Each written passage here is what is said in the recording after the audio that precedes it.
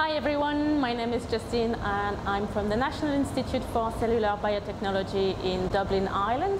And I'm going to show you how to prepare the complete medium for a fusion assay.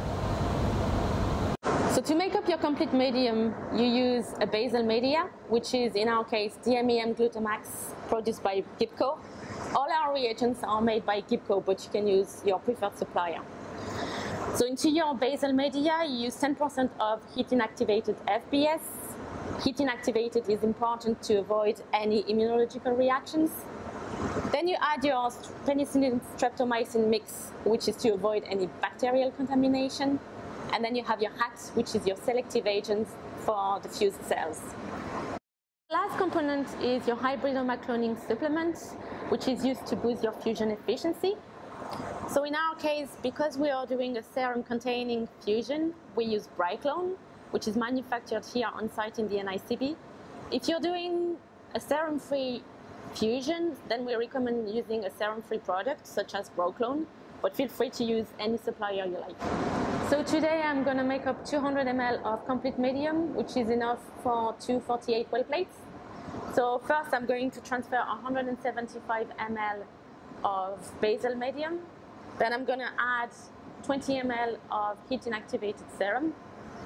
Then 2, 2 ml of Penstrep, 4 ml of HAT, and 10 ml of Briclone because we use it at 5% concentration. Et voilà, that's it. So I usually prepare my medium the day before the fusion assay and I keep it overnight in the fridge, but you can also make it on the day.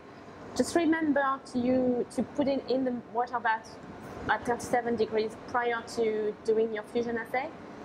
And I would recommend not to make it any longer than 48 hours before your fusion assay. So this is step one preparation of your SP2 myeloma cells. So what you do is that you take uh, the cells of two flasks, two 75 centimeter square flasks that you transfer into a tube, a sterile tube. You spin them uh, for five minutes at 1000 RPM and then you resuspend in serum-free medium and then you spin again for five minutes and you resuspend the cells in 10 ml of medium again and you store them at 37 until you're ready to do the fusion. So step two is the preparation of your splenocytes. So you take your immunized spleen that you're going to place in a 100 micron cell strainer that's placed on a small petri dish that contains serum-free medium. Then you're going to mash up your spleen and you're going to collect your splenocytes, put them in a sterile tube, top up to 10 ml with serum-free medium, you let the cells settle for two to three minutes, and then you spin them uh, at, for five minutes at 1000 RPM, and you resuspend in 10 ml of serum-free medium. Step three is mixing your SP2 myeloma cells with your splenocytes. So you have 10 ml of SP2s with 10 ml of splenocytes. So you just mix them well together and then you spin them at 1200 RPM for five minutes and you repeat that washing step twice. So step four is your cell fusion. So you're going to resuspend your cells in 1 ml of PEG that's been pre-warmed at 37 degrees.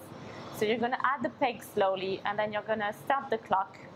And with your Pasteur pipette, you swirl and suck your cells and you're going to end up with 8.5 ml of plating media with your cells. Now there's different time points, but that's within the protocol. So once you've added the full 8.5 ml of plating medium, you're going to incubate the cells for 15 minutes at room temperature. Then you're going to spin the cells at 500 RPM for 5 minutes, remove the supernatant, and resuspend in 10 ml of, serum, uh, of plating medium. And then you have your cell suspension that you're going to divide equally into any conditions that you want, and you're going to plate your cells in 48 well plates and incubate for 12 days undisturbed. So the fifth and last step is the plating. So you're going to take 1 ml of your fused cells that you're going to mix in 49 ml, 49 ml of your plating medium. Mix that well, and you're going to dispense 800 microliter of your cell suspension in each well of a 48 well plate. wrap that plate with parafilm and place it in the incubator at 37 degrees for 10 to 12 days undisturbed.